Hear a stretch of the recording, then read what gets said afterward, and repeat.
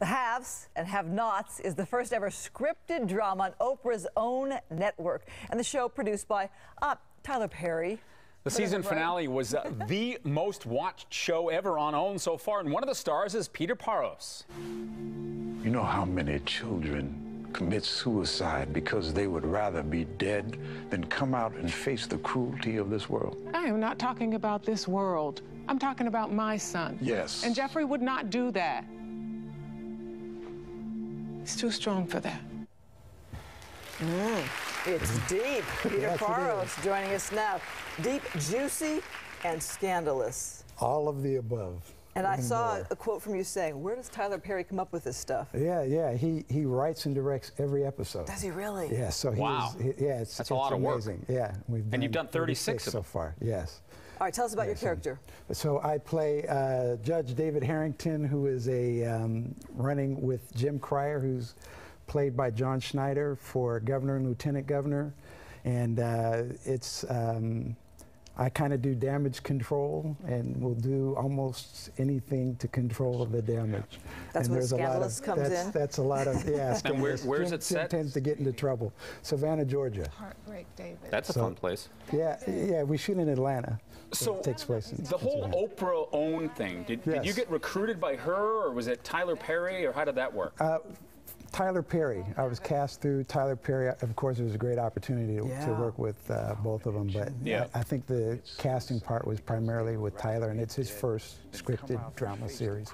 He's known for comedy, Yeah. but this is something very. very But I mean, you for got to figure I'm I'm definitely doing this if you got those two Oh, names absolutely. attached to it, right? Oh yeah, yeah. I knew it would. I didn't know it would be this big, but I knew it would be like historic television. I love your storyline as an actor because if you saw our guest earlier, Miguel Ferrer, came from Hollywood royalty. Right. But you, I think, worked your way up, you know, from a smaller role to a bigger role to a soap role, a big Yeah. soap star. Yeah, And yeah. you're just one of those working actors who's really pounded the pavement. Yeah, I've been been very blessed. Thought I was going to be a dental technician, which Uh-oh. is what my what my dad did. Uh-huh. And then uh, started in television commercials. But I mean, you've been Knight working a long time. Yeah, yeah. My big break was '85, Knight Rider with David Hasselhoff. It Ah. was a series of last last year that Uh-huh. show.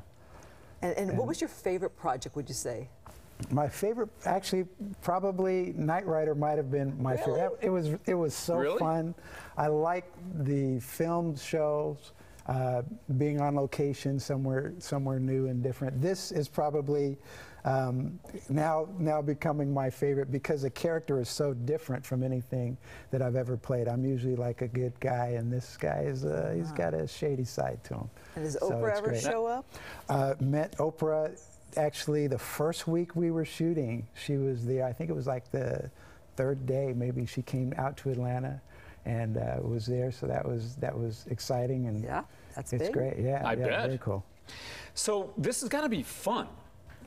I It mean, i- you it know what I mean? Even get, get to play someone who's a little got, got a little bit of an edge, a little little twisted. Yeah, yeah, and uh, I mean, not, we're, we're not going to House of Cards twisted yet, but no, no, not yet. Not that far. But we don't know how twisted it'll get. But it's it's um, no, it's good. It's great working with John Schneider. Yeah. Who most most of my work has been with him, and he likes to.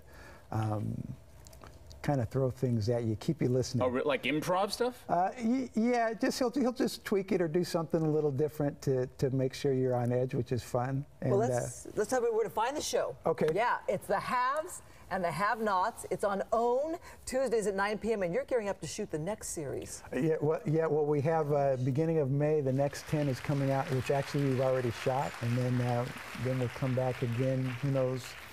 Probably another uh, month and a half after that and do the Well, we're saying goodbye. We wish you Thank the you for very coming in. Peter. All Congrats. right, appreciate Thank you for having me. Very cool. That's it for us. We'll see you tonight at 10 and back here tomorrow at 5.